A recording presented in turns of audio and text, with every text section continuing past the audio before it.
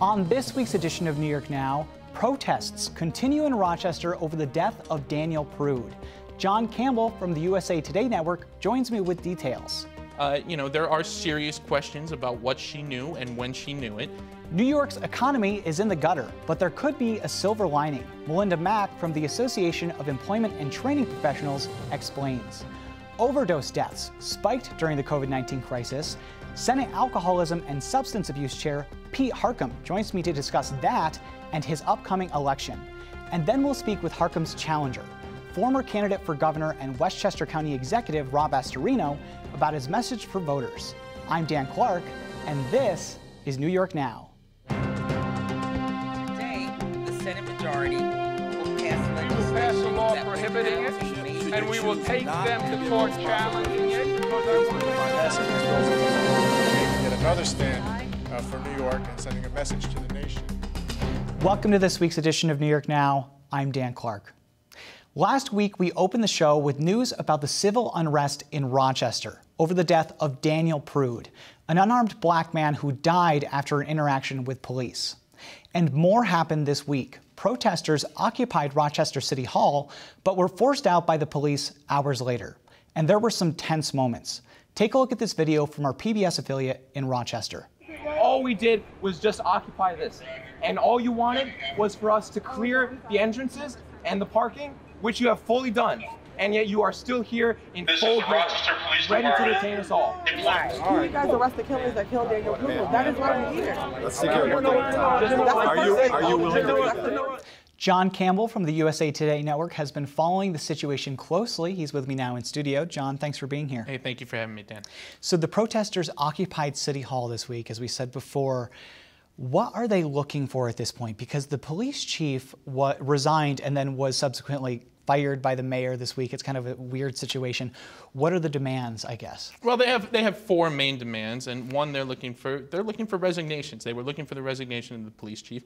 They got that resignation, but the Ron Sing- Singletary, the police chief, is going to step down at the end of the month.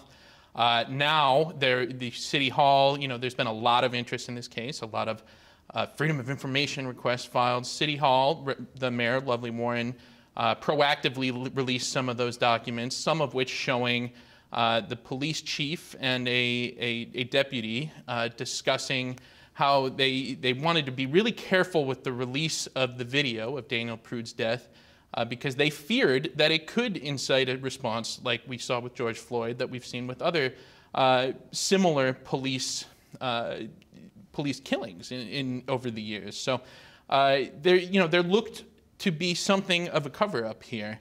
And now there's this big debate about who deserves blame for that. So the mayor sped up the uh, the resignation of the uh, the police chief, fired him two weeks early, essentially, and uh, now we're in a situation where there's questions about how much responsibility the mayor deserves, how much responsibility state officials, local local officials. I mean, there's a lot of people who knew about this and did not tell the public. How is the mayor reacting to all of this? Because she is relatively popular in Rochester, I think, but the, I believe the protesters were calling for her to resign herself, right? We, we, you know, we as journalists often use the word embattled to Yeah. describe a politician, and I think it's certainly apt in this case. Not only because, uh, you know, there are serious questions about what she knew and when she knew it. There was one email that she released where there was a, a reference to the mayor being "quote unquote" in the loop.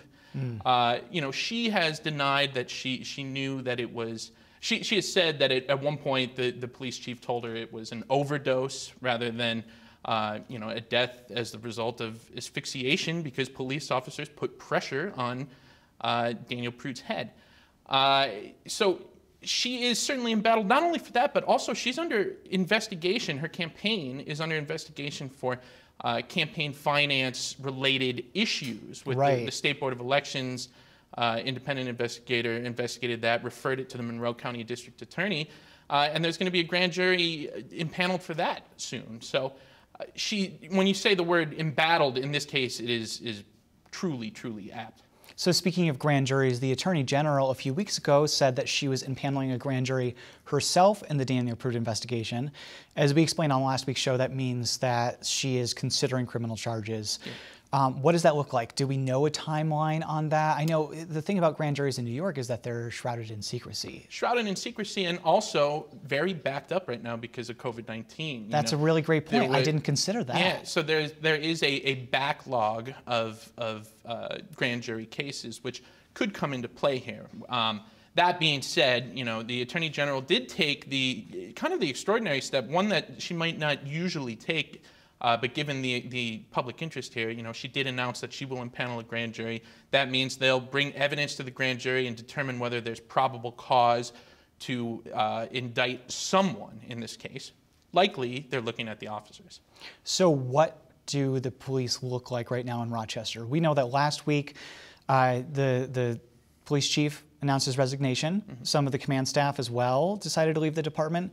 Um, what, what does the police department look like right now? Is, is it a mood that it's police versus protesters? Right. Well, there's, I mean, there's no doubt. Literally every single night you see police versus protesters. Right. I mean, you see these lineups in Rochester where, uh, you know, they they stand up face to face, you know, a few feet away. That's what happened with the occupation of City Hall. Uh, that's how they, they ended up clearing it out. But that being said, you know, you have not seen the, the rioting and looting uh, in Rochester that you have seen in, in other places, in Minneapolis with George Floyd, for example. And, and that, is, that is certainly something to be recognized, that you know, these protesters do have a very clear, consistent message in terms of their demands, uh, and they have not resorted to the, the rioting and looting that has been criticized in other, other cities.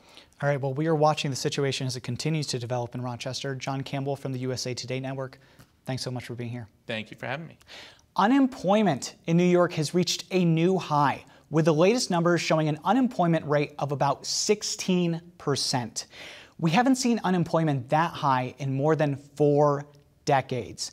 And as New York starts to recover from the COVID 19 crisis, some say it's the perfect time to not only grow the state's workforce, but strengthen it as well. And that's going to cost money, but supporters say it would be well worth the investment down the road. One of those supporters is Melinda Mack from NYATEP, a statewide workforce development group. We spoke this week. Melinda Mack, thanks so much for being here. Thank you. I'm so glad to be here. Yeah. So New York City had an unemployment rate of up to 20% last month in last month's numbers. Even in Ithaca, unemployment was 9%, which is still very high, even for anywhere around the state. You're part of a group that says that the state could be doing more right now to ensure a stronger workforce recovery as the economy starts to recover. Tell me about your plan and what you'd like to see happen. Sure. Well, I'm so glad to be here to talk about this because I think as we've come across the pandemic, we're now at a point where we're realizing we've got millions of people out of work across our state, and they're going to need to return to work at some point. And we have to have a plan in place to do that effectively. Um, as you described, the pandemic has caused massive unemployment across New York. I was just looking at the numbers before I came in. Um, we're close to over 5 million people who are on some form of assistance, really, That's around crazy. unemployment assistance.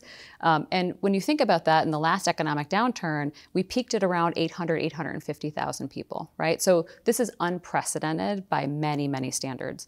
That being said, we shouldn't be sitting back and waiting for the economy to recover to get people back into employment. And I think one of the things that we've been looking at is who's been laid off and what types of sectors and industries are being impacted. But more importantly, what's the trajectory for the recovery, right?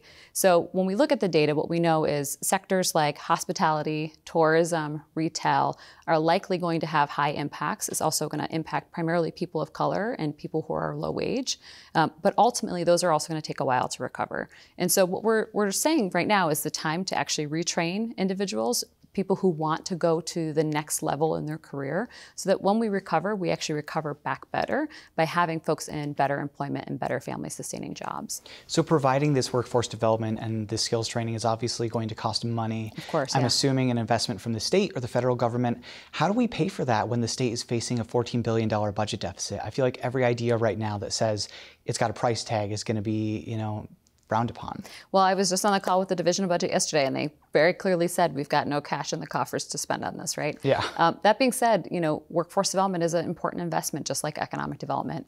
Traditionally, what happens is in an economic downturn, the federal government comes in with a stimulus package that funds workforce at billions and billions of dollars. And so in the last economic recovery, it was around $5 billion that came out through the American Recovery Reinvestment Act.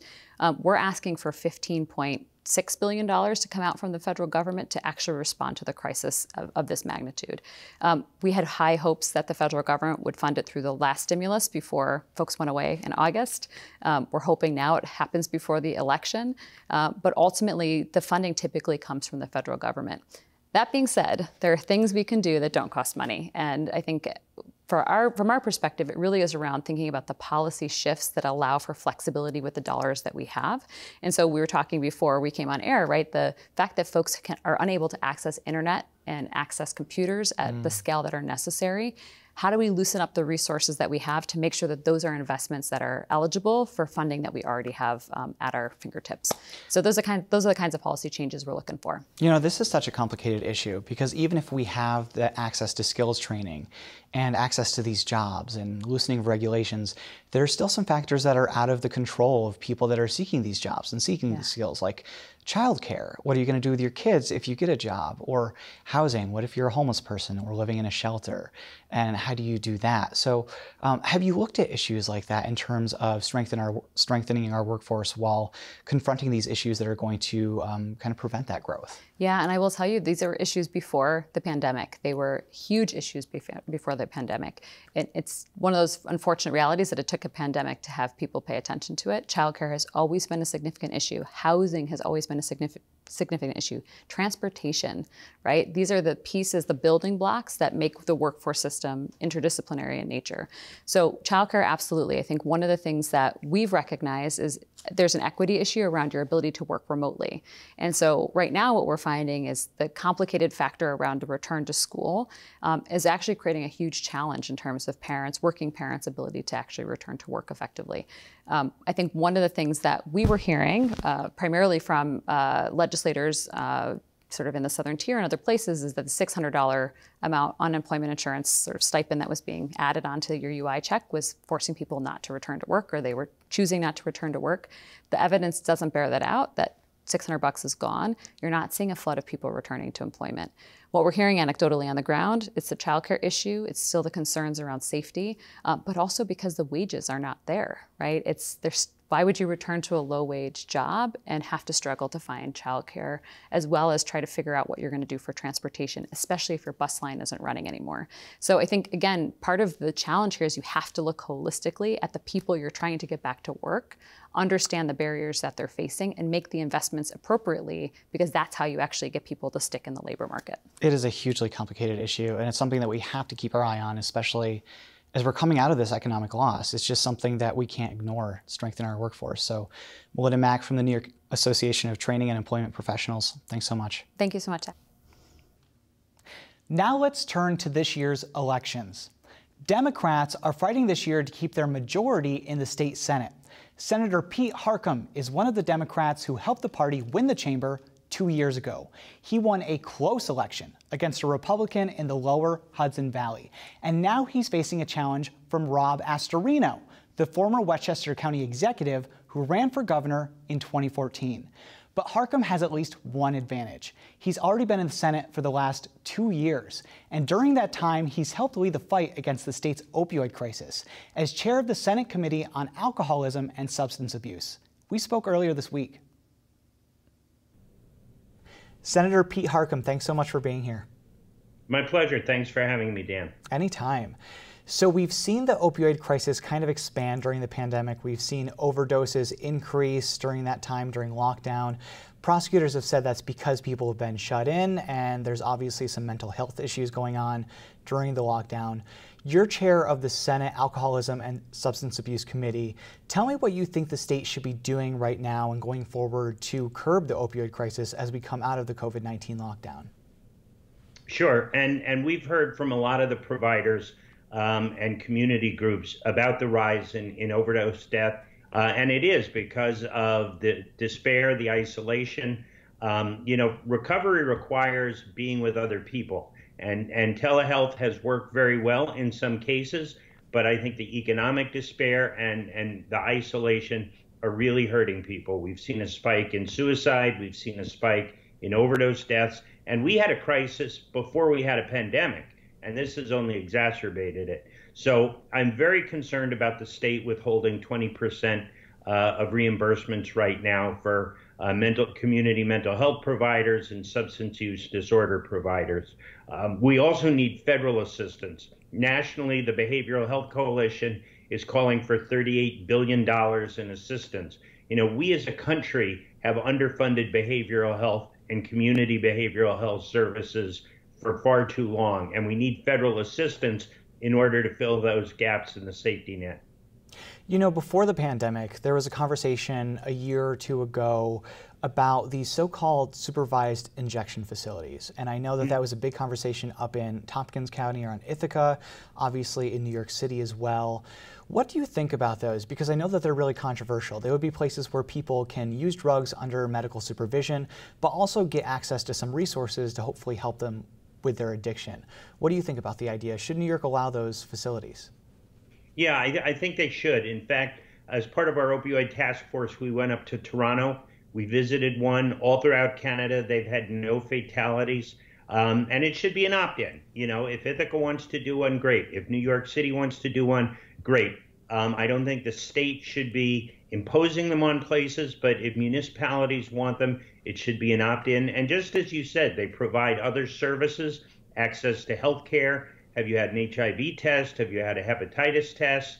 Um, are you ready to think about treatment? Um, medication assisted treatment, a whole host of, of options are available to folks. But the key goal is let's keep people alive. We can't get people into treatment if they're dying in isolation. You know, you mentioned uh, people's finances before, and obviously taxes are a big part of that. In the district that you represent in the lower Hudson Valley, property taxes are higher than a lot of the state. And that's been true for many years in Westchester County uh, before you took office and on Long Island as well. What do you think the state could be doing moving forward to keep property taxes flat during this time? I know it's such a tough question right now when the state is facing a budget deficit, but in a perfect world, what do you think the state could do to help property tax uh, payers and homeowners? Well, we did make the 2% property tax cap permanent, so that, that helps take the sting. The largest share is of, of local property taxes are education. 60 to 70 percent of the local tax is is a local school district. So what we need to be doing is we need to be funding education more through a progressive income tax, more state aid, um, and we've got to fix the foundation aid formula, which is based on you know 10, 20 year old census data uh, and doesn't reflect the new trends, whether it's size of student population, whether it's demographics, whether it's uh, English uh, as as a second language, English language learners, whether it's a number of disabled students. All of these things should be factored into the new foundation aid formula um, because the poorest districts don't have a property tax base to support their school districts the way wealthier ones do. When you say progressive income tax, uh, do you mean taxing the rich more, or do you mean uh, just kind of a tax reform across the board? No, it would it would be on on the wealthiest New Yorkers. Um, it's only right that they pay their fair share, and education is where it starts, where equality starts, where opportunity starts, and we need to do a better job of state funding of our schools to take the burden off of overburdened property taxpayers and those districts that don't have the property tax base to support their schools. So I know Republicans in this year's election, in your race as well, are going to make the state's recent criminal justice changes a big issue of that race. Um, we're talking about the law that largely uh, ended the use of cash bail for low-level and nonviolent offenses. Um, I know Democrats are being asked across the state why they voted for it and if they support a rollback. What's your position on it? Do you think that the state's criminal justice laws should have changed, and do you support the laws as they are right now?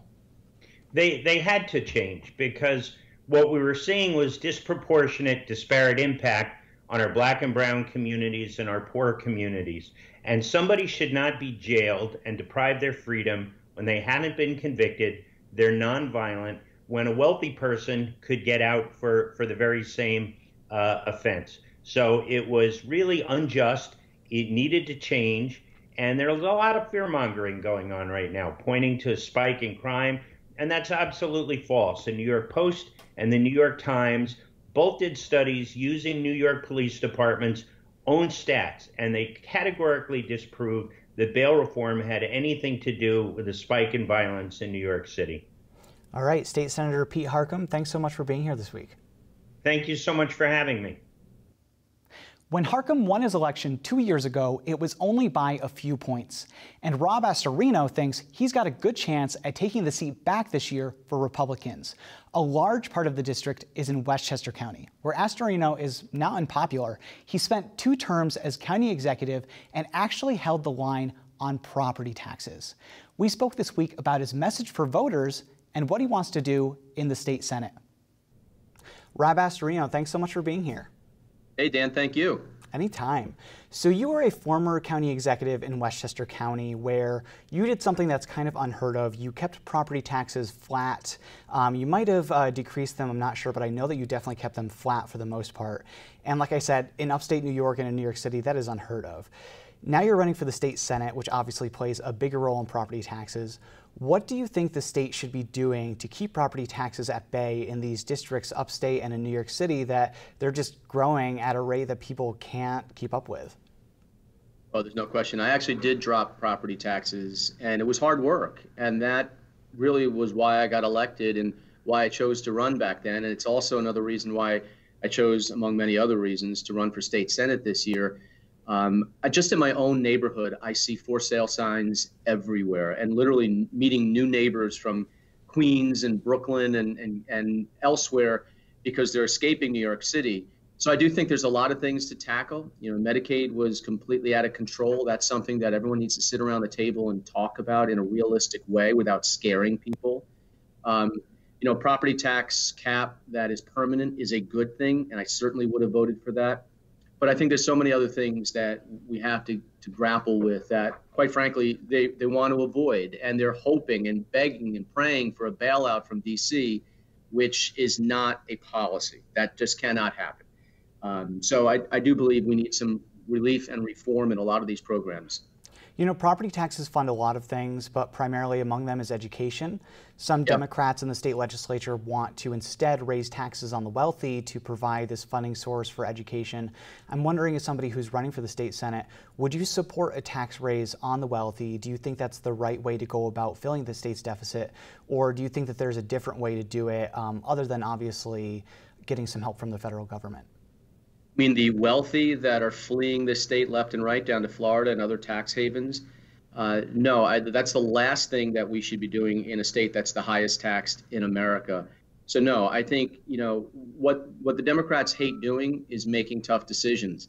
But we're at a point now where we need to make tough decisions. You know, first and foremost, we should set the goal of trying to be the most tax competitive state in the Northeast. Okay, let's not bite the entire apple and try to be number one in, the, in America. We're not going to get there probably in my lifetime.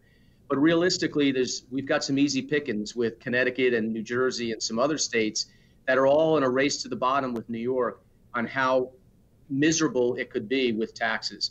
So it's the number one issue, property taxes, but also income taxes. You know, the state and local tax deduction, it hurt a little bit, there's no question. Uh, but that shouldn't be the excuse that the governor and everybody is using to not really deal with the big issues if you lower income taxes, there's going to be this gap where you can't. Right now, we're, we're really not putting a, a lot away for rainy day funds. If you lower income yeah. taxes, we're going to have less money in the coffers to pay for things.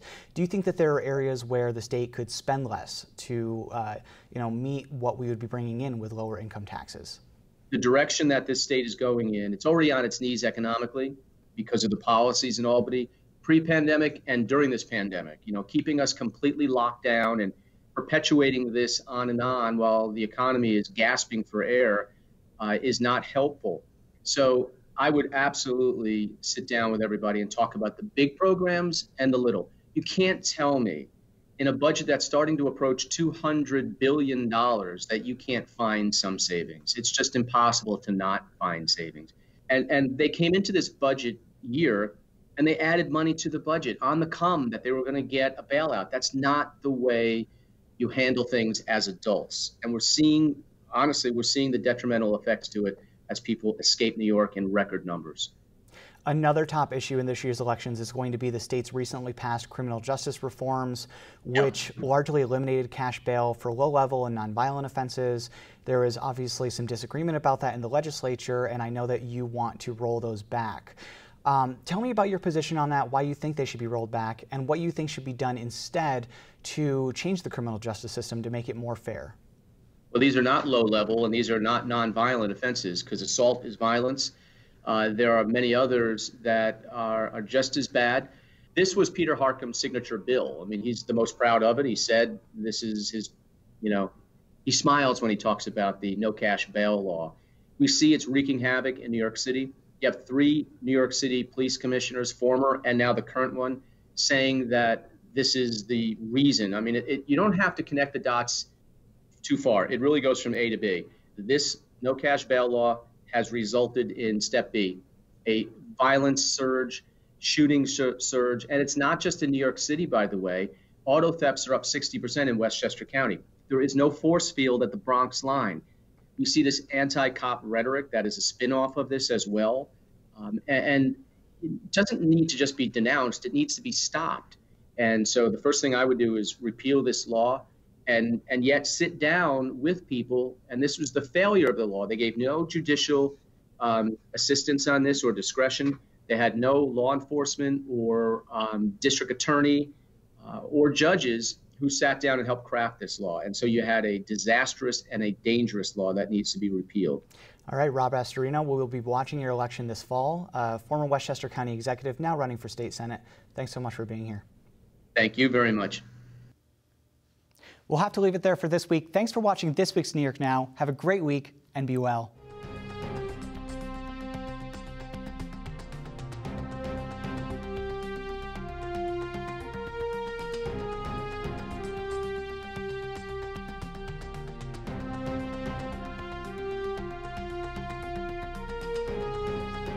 Funding for New York Now is provided by WNET.